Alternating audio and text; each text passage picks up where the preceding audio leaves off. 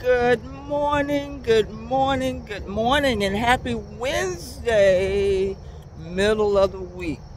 This is Gigi. Come on and get your at least thousand steps in this morning.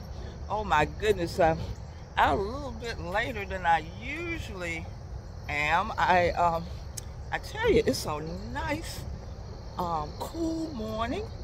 I put my jacket because I said, it might be a little cooler this morning. I really don't need it right now. It is just right. It's just, it's, it's so nice for a nice uh, walk this morning. I can't believe it. We're in August, which is usually um, one of the hottest months here um, in the 757. It is, oh my gosh, it's nice. And you know, these cool mornings, it's kind of a little harder to get up. but we are here because you know why? This is the day that the Lord has made, and we are rejoicing, still rejoicing, and we are glad in it. Oh my goodness, I was reading um, our daily bread devotional, and it was talking about um, God's generous love. And um, my gem nugget is I want you to do something. We all need to do this. Put on your overcoat. Put on your overcoat. Now, it's August. It's, it's, still not cold enough yet to put on uh, our overcoat or coat or jacket at all. But we know later on we're going to um, have to put on our coats uh, and our jackets. But there's a coat that we can always put on, no matter what time of the season it is. My scripture is coming from Colossians 3, mm-hmm. um, 12 through 14. Paul says here, Therefore, as God's chosen people, holy and dearly beloved and dearly loved, clothe yourselves with compassion, kindness, humility, gentleness, and patience. Bear with each other and forgive one another. If any of you has a grievance against someone, forgive as the Lord forgave you. And listen to this one. Pay close attention to this verse, verse 14. And over all these virtues, put on love, which binds them all together in perfect unity. Love. Love is that overcoat that I'm asking you to put on this morning. Put on your overcoat of love. You know, this morning I, I was looking for um, something to, to illustrate this better. And I found a gentleman that has on, uh, he has on pink pants, uh, pink shirt, pink tie. Very good, you know. Uh, that pink looks good on men, you know, and the way this outfit is put together. And over all of that, he has on a a pink overcoat. Beautiful, beautiful. This guy looks handsome in that outfit. And it, and it, and it illustrated this verse because the overcoat, the pink overcoat, which to me the pink represents love, pulls all the rest of that outfit together and it makes him look good. And you know, when we have on that overcoat of love, it makes us look good too. There's a scripture that says you will know them by their love. You'll know those that are disciples of Jesus Christ because of their overcoat of love. Oh, ain't that good? You know, they were telling a story in here because the story that the devotional is bringing out is about forgiveness. And But see, we can't have that forgiveness unless we have love for one another. Love is not a sign of, of meekness or weakness. It's a sign of strength when you put on that overcoat. Because it was telling the story here about um, this um, soldier. Uh, well, yeah, he was a Navy um, admiral. And during one of the operations in the Middle East, of course, Um, he killed an innocent family in the process.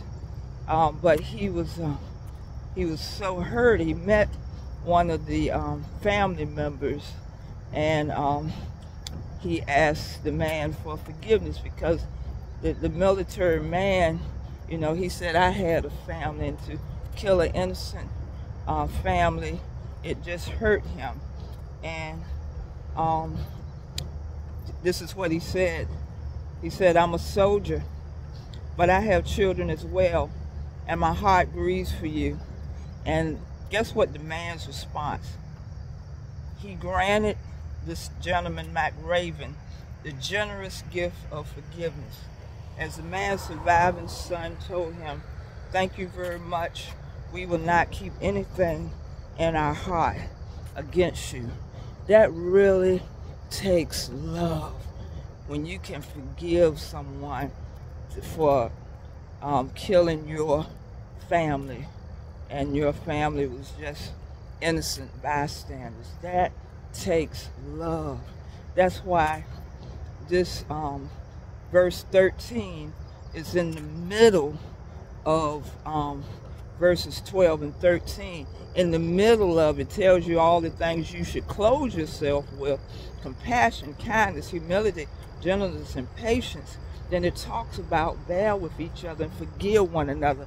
Forgiveness is smack in the middle of these two verses.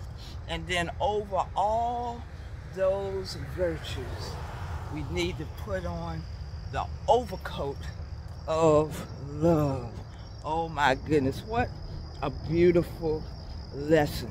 So put on your overcoat of love. That's the only thing you can do.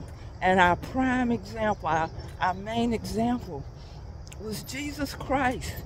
You you you you remember what he said on the cross as they were mocking him and killing him and doing all these things. Forgive them, oh my God, for they know not what they do. The only way you can say that is that you have love.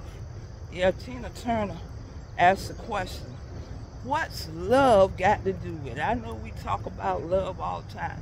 What's love got to do with it? In her eyes, it's just a second-hand emotion. But love huh, has everything to do with it. Love has everything to do with it. So don't forget. Put on your overcoat of love. All right, that's my gem nugget. That's my gem nugget for today. Um, subscribe to the GEM Nugget channel. We're over 20,000 subscribers. And I think that we got a lot of people last night to tune in for Church School Live. If you missed the lesson last night, the rules of life, because every once in a while, especially those that are in the household of faith, that are Christians, sometimes we have to be uh, given a refresher. I call it a refresher on how to live the life that God intends us to be. This letter of Titus, when Paul sent this letter to Titus on how to um, um, instruct the church, he hit every uh, generation, uh, every group of people, how old men should live, and how old women should live, and how the youth should live, and how the elders, and how the bishops, and how the leaders of the church should conduct themselves. Every once in a while, the church needs to instruct that's like Paul did through this letter to Titus. The rules of life. You need to go back and see that. You need to go back and see that. If you did see it last night, you need to share it with somebody. You need to share it with somebody because it was a very timely lesson. All right. I'm going to enjoy the rest of this beautiful morning and this beautiful day. You have a blessed one. But don't forget, you know, I remember when we were children, this is one last thing, you know, when it started getting cool. And it's something about sometimes children, although it's cold, they don't want to put their coat on. And I remember mom, don't you go out this house without your coat on and, and, and, and your hat on. That was another thing, your hat on. And it did us good because it kept, you know, it prevented us from getting a whole lot of colds and being sick all the time. But uh, don't forget, put on your overcoat. and that overcoat is the overcoat of love. That's a coat that you can wear all seasons and all times. Have a blessed, blessed day. Bye.